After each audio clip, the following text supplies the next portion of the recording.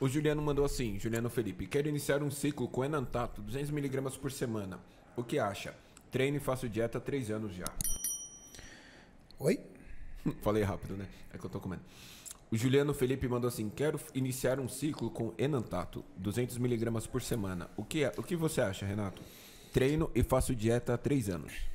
É uma, é uma boa quantidade, tá? 200 miligramas por semana para um primeiro ciclo é uma boa quantidade, não é considerado uma alta dosagem.